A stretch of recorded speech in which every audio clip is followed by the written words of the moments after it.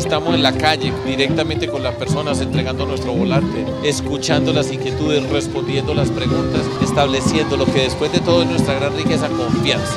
Así tengas propuestas distintas o puntos de vista diferentes, él te incluye, se sienta a charlar con cualquier joven acerca de cualquier asunto y lo más importante de todo es que él respeta. La enseñanza del profe Fajardo que nos deja hoy es, se puede construir sin enemigos, se pueden llegar a debatir ideas, conversar, charlar y hacer sentir nuestra manera de pensar y de ver la política diferente. Una política de la charla, la conversación. Nosotros queremos ahora comenzar a cambiar esa página de la tristeza, el odio, el rencor, la desesperanza y llevar la alegría y la esperanza a todas las personas. Con Fajardo se puede. Fajardo está sembrando una semilla de esperanza, una semilla de diferencia. Y lo digo con convicción porque así lo he sentido y así lo miro en él.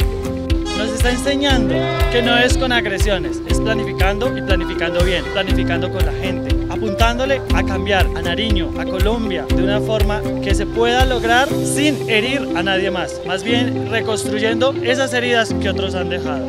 Nosotros no necesitamos aquí dividirnos en trincheras y usted conmigo o en contra mía. De hecho, nosotros tenemos como gran proyecto de país aprender a ser diferentes sin ser enemigos. Esa tarea nos toca a nosotros en Colombia. Vamos a avanzar entonces en la movilización social permanente alrededor de la educación. ¡Vamos con Sergio Fajardo!